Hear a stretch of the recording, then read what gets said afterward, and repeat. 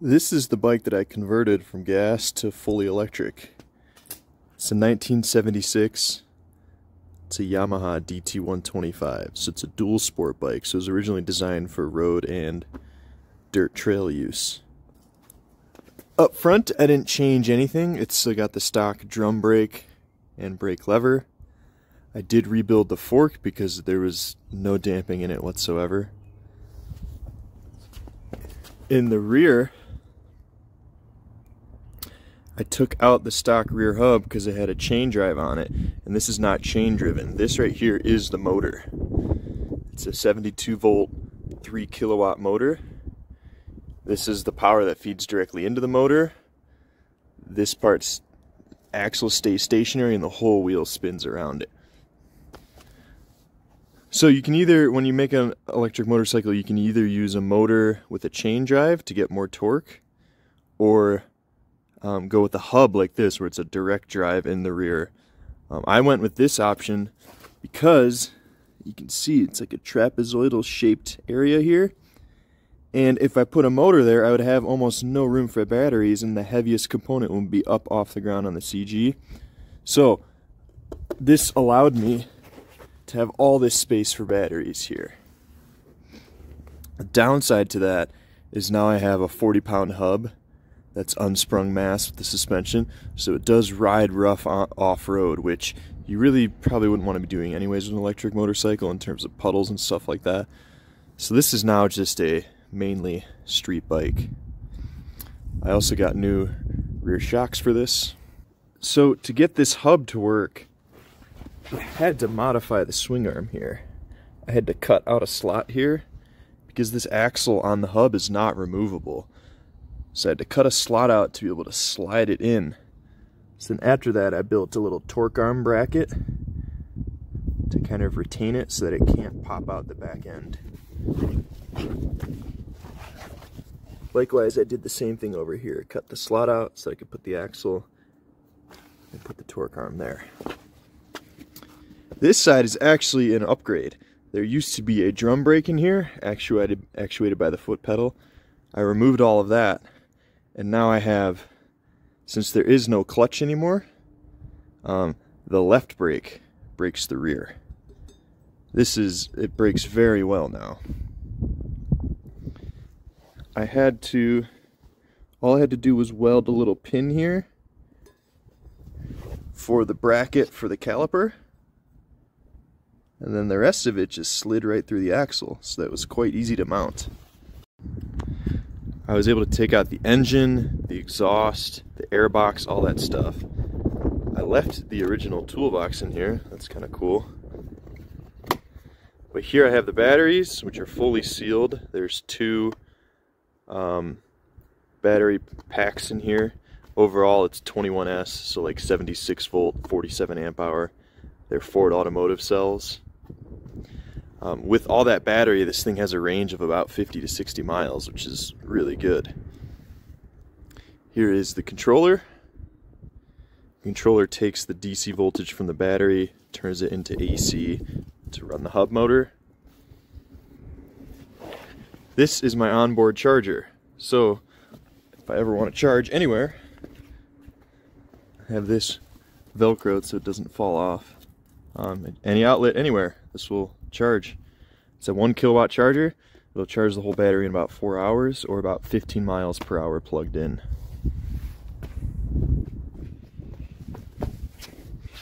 And then here is the DC to DC converter. It converts the 72 volt battery down to 12 volt so I can run my accessories. So it's running on the original headlight, the original key switch, the original speedometer, and the original brake light. So I was able to keep all that 12 volt wiring. What I did have to change is this key switch now controls, you can see in there, that's my main contactor. So the 12 volts on the key switches this high voltage, which gets the battery active and turns on the controller. So I did have to add that into the circuit and I had to add this into the circuit. Uh, honestly, the hardest part of this whole project was this battery. I can make a whole another video about how I did all this, how I put the cells in, got them in series, routed the BMS, and then coming out of the top of the battery, all I have is a negative post, or this is the positive post, and a negative post over here, and then a charger port. So it's all sealed. I passed directly through the wall. It's all sealed and siliconed up. So no water will get in there. And coming out the front here, I have a data cable for my display, which I'll turn on. So this display is a touchscreen, which is pretty cool. It tells me my voltage, the current I'm currently drawing. Since I'm not riding right now, it's not telling me how long I have till empty. It gives me the temperature. Second page tells me how much capacity I have remaining, how many times I've cycled the battery, then all my individual cell voltages. Um, the seat is original. The gas tank um, doesn't do anything. It's completely empty. So that could be changed into some sort of storage. Right now it's just an old, smelly, rusty gas tank. But I left it on because it looks super sweet with it. Without it, it would look really weird. Um, this is just a cover to cover up my contactor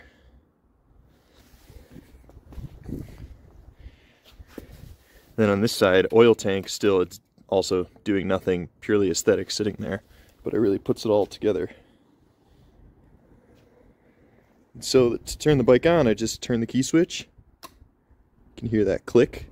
That is the, the contactor in there. And now the bike is live. It moves, just like that. So that's another thing with the rear hub it's completely dead silent when it moves, which is kind of cool. You can hear a lot of things around you. There is no chain running, so you don't need to worry about lubricating a chain, and the chain can get really noisy sometimes. Uh, the chain also has inefficiencies. You probably lose about 20 to 30% on a mechanical chain, so I do get more range because of this. then I took the, off the original carbureted gas throttle that connected to cable. Um, had a mechanical cable to pull the slide. Now it still has a cable hooked up, but it's just an electrical cable. This is just a potentiometer really. So when I turn this, based on the value, the controller um, sends the according amount of power to the rear hub. Uh, I also, the controller is pretty cool. It's got parameters in there where I can have it when I'm hitting the gas, it's full power to the rear hub. And then as I let go of the gas, it goes to full regen mode.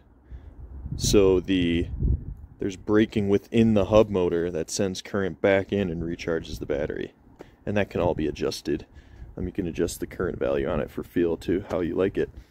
So when you have full regen on this, you almost don't even need to use either the brakes at all, which is pretty cool. Super efficient machine. This horn is the last part of the project I have to do. Um, since I have a DC-DC converter, it does not isolate the high voltage from the low voltage side, which means it has a common ground. The tail light, headlight, all that stuff is not grounded directly to the frame, so that all functions. This is grounded directly to the frame, and I want to isolate that because if I were to touch this main positive and the frame, I would get shocked. So I need to run this horn and isolate the ground and bring it into a wire directly rather than the frame, just like the headlight and taillight are. So tucked up here near the frame tube of the recess for the gas tank, it's actually not that visible at all, that's why I tucked it all up there. Um, is the main wiring harness and then all this is just excess stuff for the controller that I don't use at all. This, I mean, you can control brake lights and stuff like that off the controller, but I already had the original wiring harness for the bike. This is the Bluetooth module for the controller, so I can change parameters off of an app on my phone. If I want to limit top speed or change the regen or anything like that, I can do it just like that. Super simple. Since I got rid of the foot brake that used to pull a switch to turn on the brake light when the foot brake's activated, uh, instead I tapped the wiring off of this new um, rear brake handle same exact same exact thing. I ran these wires directly into there, and it runs the exact same way. The BMS inside of here that uh, has all the battery information I have running directly to that screen. It can also run purely off Bluetooth, and you can just check it off your phone to see how much charge you have left and stuff like that. But instead, I opted for the $30 hardwired screen so I could see it directly on there so you can have it's much easier to access so I went that route. To mount the battery box I used the original engine mounts here and I welded together some angled brackets for it to rest on and then screwed into here. Up here I did a similar thing. I made a special bracket off the airbox bracket, screwed directly into here. And then for the last mount, this is another original engine mount where I made a bracket and then screwed up and under. So three points of contact. The only modifications I had to do directly to the frame were right here. There used to be another mount and I chopped that flat for clearance so that I could fit my battery in here. But this is actually a half inch narrower from foot peg to foot peg than uh, the gas engine was. So it fits really well overall. Overall, this bike weighs 20 pounds less than the stock gas bike. And I'm willing to bet it has much better handling because all of the weight is down low by the battery, just like where the engine was. And now I don't have any weight and gas fluid up top. So my overall center of gravity is much lower. And also, no weight and fluid up top in this oil tank. This is a 3.6 kilowatt hour battery pack overall that I get 50 to 60 miles on. Uh, when you do the math, that's about 15 miles per kilowatt hour. Here in Utah, um, it costs 10 to 12 cents per kilowatt hour. So this costs less than one cent per mile um, to ride. Um, that means this is probably the cheapest high speed single occupancy transportation uh, on the planet, really.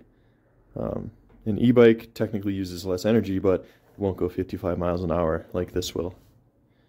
So that was kind of my goal, is to make the most efficient, energy efficient, single person transportation in terms of cost. So overall, this bike will go 55 miles an hour. Um, you can pick all sorts of different speeds based on your hub. They're all gonna all the hubs will have the same power, but the kV ratio changes that. So if I want to go faster, I end up having less torque overall. Um, if I want crazy amounts of torque, I don't have as much top speed. So 55 I thought was a pretty good balance. This thing isn't crazy torquey. Um, it's probably similar to what the stock gas bike was. Um, but you could change that. You could drop in a a 5000 watt hub and get a much more powerful controller and then this thing will be absolutely ripping probably only for $500 or less. Um, I made this my goal was a the most budget build possible. So I got all of the best components that I could get for a reasonable price and that's what this ended up with. So this was a pretty sweet project overall. I'll go through the breakdown of all the costs to show you how much this cost and how much time I spent on it. So you can see I've, every single time I spent a half hour on the bike here and every single item I purchased here. So rather than bore you and go through every single detail, so you can see the total amount of time I logged was 61 and a half hours. This is all while doing physical work. Um, this doesn't include when I was designing things on a computer. So essentially, if I were to do this again, it would be at most 61 and a half hours. Likely more like 40 because I'd be way more efficient second time around. I grouped them into areas of time spent. So picking up the bike was two hours, cleaning the bike was three and a half, stripping all the gas parts off that I don't need and listing them on eBay was six hours, rebuilding the fork and putting on new rear shocks is an hour. Uh, the battery, putting the battery together and the battery box together and that was 22 hours of work. That was like over a third of the entire time spent was the battery. Mounting the rear hub, making those brackets and welding and all that stuff was six hours.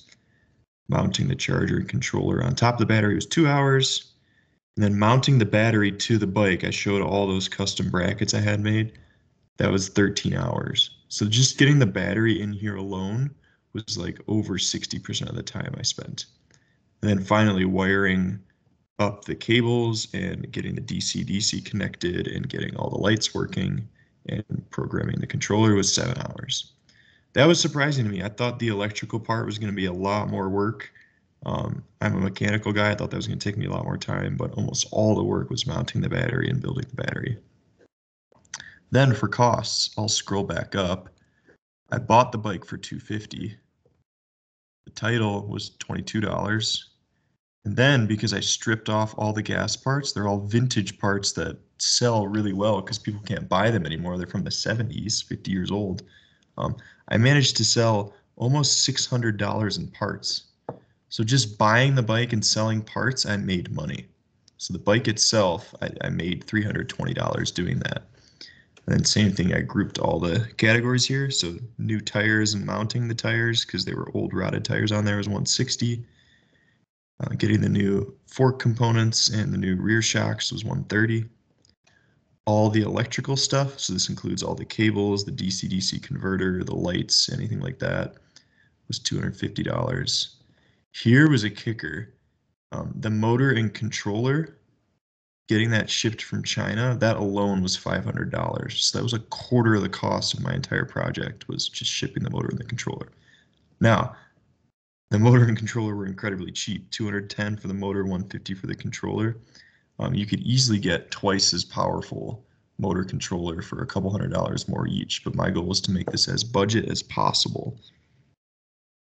The charger was 130 could also get a more expensive faster charger but this was the best bang for your buck to be able to charge at one kilowatt the battery in terms of the aluminum and the BMS and the cells themselves was 600.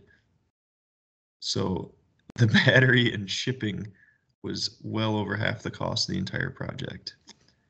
Uh, miscellaneous stuff and then tools were $122 so this includes like things that i had to buy specialty tools in order to make some parts so in the tools is a tablet that I needed a special Android tablet because my phone wouldn't accept it to program the controller. I got a 60 volt power supply to be able to charge up the cells and level them all out, and an oscillating tool um, for cutting parts. So this probably shouldn't even be included in there, but I included it anyways. But all in all, just over $2,000 to get this project done and 60 hours of work. Um, Granted, a lot of this isn't including um, I have access to a mill and a lathe and a welder and stuff like that, so I didn't have to outsource and pay for any of that. But this is just to show you that it can be done for fairly cheap to get a really cool bike that's really functional for not a whole lot of money. People online will tell you you need to buy all these insane components, and you can if you want crazy performance. But if you're doing a budget build um, with still quality but low cost parts, $2,000 is, is, is really good.